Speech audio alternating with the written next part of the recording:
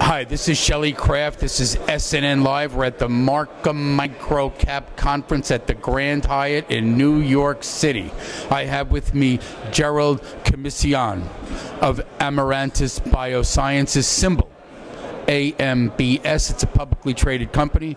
Gerald, welcome back to SNN Live. Thanks for having me, Shelly. It's good to have you. Okay, we need an update, please. Uh, well, since the last time we uh, interviewed, I think it was about last year this time, a lot of things have happened. Uh, we've gotten some really interesting data, successful data with our uh, Parkinson's program. So we've uh, now shown a clear distinction between our drug and another drug candidate in the category called GDNF that uh, looks very promising. So we feel as though that's big. Uh, we were able to reinnervate uh, certain areas of the brain that become dysfunctional. Uh, that's clear. Uh, another thing that we've been able to do is we in-licensed a Alzheimer's diagnostic by the name of LymPro. And this is important because this could be the world's first blood-based test for Alzheimer's disease that will definitively help people diagnose Alzheimer's as well as help drug companies perform better clinical trials for their drug products. So we think this is a huge market opportunity in excess of $500 million uh, for this product. Well, early diagnosis, how can you beat that? Well, you know, you can. Uh, and you know everything at the FDA, uh, all the company, all the drug companies, and even recent clinical trials of uh, not the same compounds but related compounds with gene therapies have shown things work better in earlier patients. So what we think is, you know, we're going to use our expertise in CNS. We're going to develop these products, and in developing the diagnostics, it's going to fuel our therapeutics category. You know, there's absolutely no question that the whole world is affected by the treatment of Alzheimer's, Parkinson's, and there's no treatment.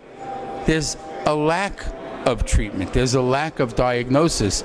A lot of the diagnoses are too late. Am I correct? Absolutely. You know, the way we look at this at Amarantus is we're in a very similar place in the brain treatments as we were in cancer treatments 20 years ago.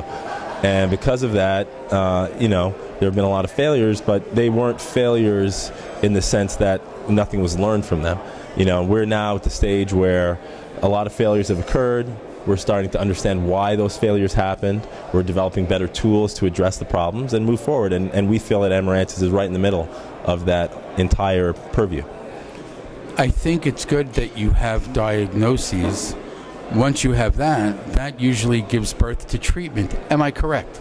Absolutely, because it's very difficult. I mean, I've been right a couple of times here. I just want to share that. Right, it's absolutely. It's very difficult. Uh, for physicians to really move forward with various treatment modalities given that there's always an uncertainty of what a patient actually has. And it's very difficult for researchers to develop treatments without really knowing what they're dealing with on the uh, physician side. So definitely diagnostics are, are preludes to treatments. And the more success we have in developing diagnostics, we're going to have much greater success in helping patients, which is all that matters. Most importantly, I want you to give out your website because the information that you're going to be presenting on your website could be of concern to so many people out there. Right. Uh, this website is www.amarantus, A-M-A-R-A-N-T-U-S.com. Uh, on the website, we have two white papers, one about our MANF protein therapeutic, which is primarily being developed for Parkinson's, and one about our LymPro uh, diagnostic, which is being developed for Alzheimer's.